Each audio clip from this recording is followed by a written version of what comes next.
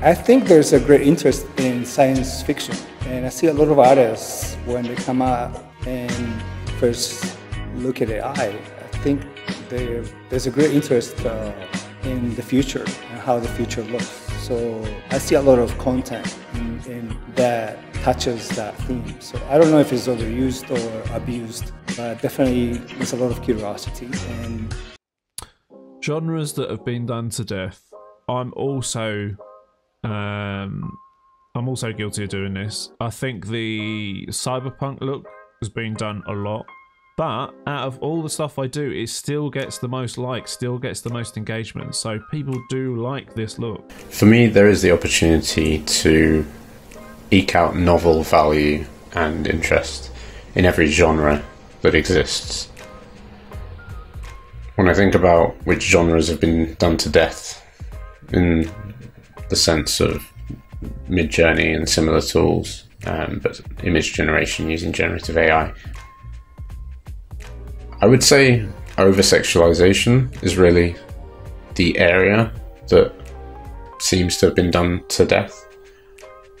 I wouldn't class it as a genre per se. Sci-fi. I'm sorry, but like I love sci-fi, but I feel like the sci-fi thing on uh, in the AI community is just absolutely done to death. Um, I want to say fantasy, but I'm also a part of fantasy. I love fantasy. so so yeah, uh, maybe just me, but I feel like there's a lot of fantasy.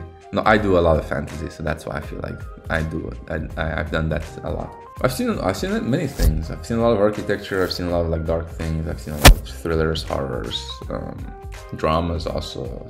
You know.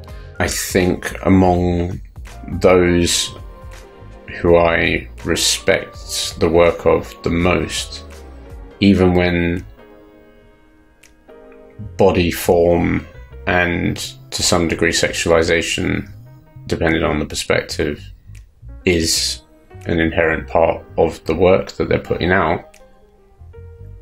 It's done with a sense of gravitas and awareness of what that means in the wider scheme of things.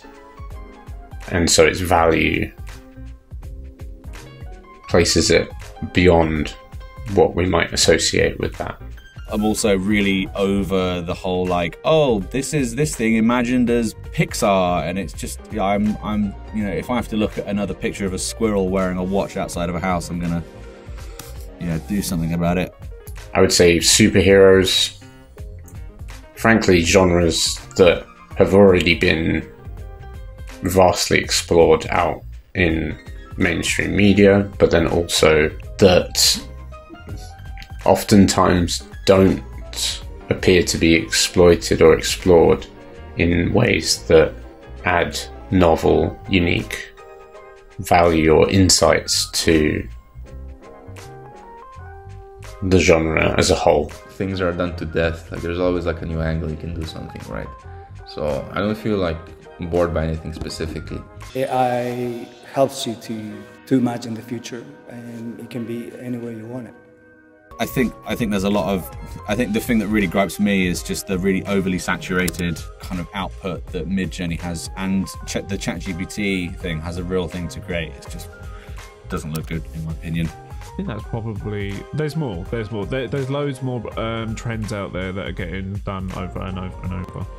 Okay, so I'm creating some new content. It's based around the new CREF feature in Midjourney the type of content I'm looking to produce is you filming yourself talking about how you've been using CREF, you know, what have been your reference images, you know, what other uses have you found for CREF, CREF over and above just finding a character, putting him into a scene.